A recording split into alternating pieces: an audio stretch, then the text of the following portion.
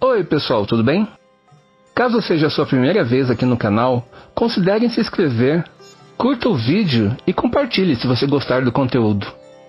E se você já faz parte de nossa família e quer ajudar na nossa produção de vídeos, seja membro. Isso contribuirá para que aumentemos nossas pesquisas e qualidade dos vídeos.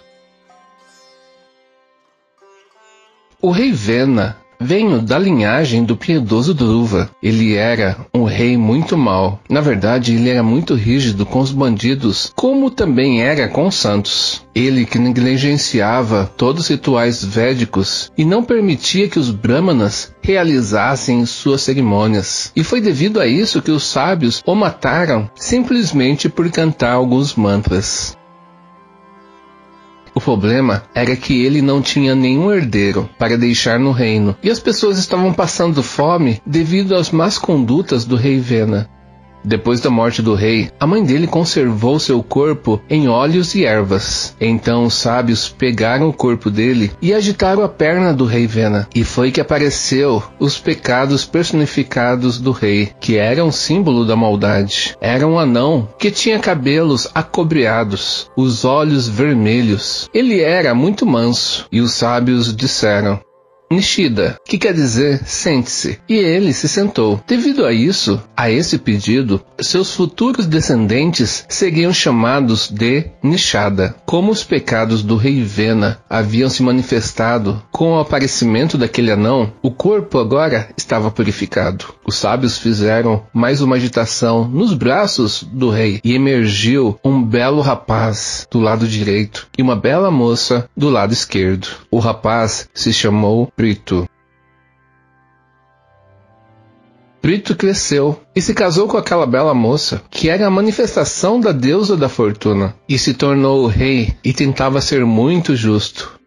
Mas devido às atividades do seu pai, todos no reino estavam passando fome. Brito tentou conversar com a terra, mas ela se recusava a alimentar a população e, como consequência, as pessoas estavam morrendo dia após dia.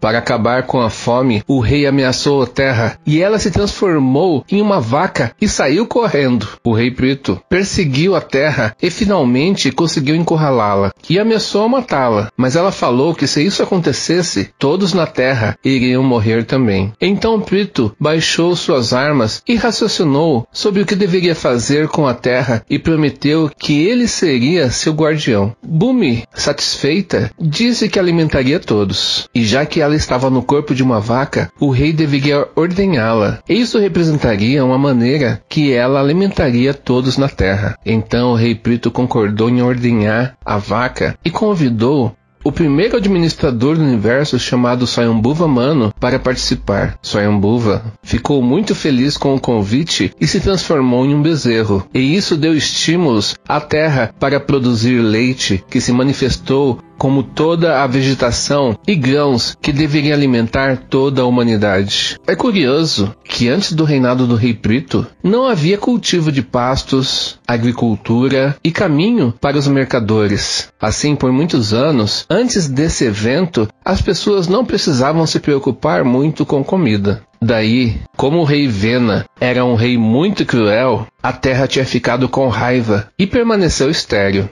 Pode-se dizer que toda civilização emergiu no reinado do Rei Preto. Ao conceder vida à terra e sendo seu protetor, Preto se tornou o pai da terra e ela aceitou o nome de Prithvi, na verdade, com a ordenha apareceu vários itens, tais como vasos de ouro, os sábios obtiveram devoção eterna, apareceu vasos de pratas, veneno, ferro e outras coisas que foram distribuídas aos devas, humanos e demônios. O fato foi que Prito foi um grande soberano. Ele considerava todos com igualdade e trouxe grande glória à sua dinastia, que antes foi destruída pelo seu pai.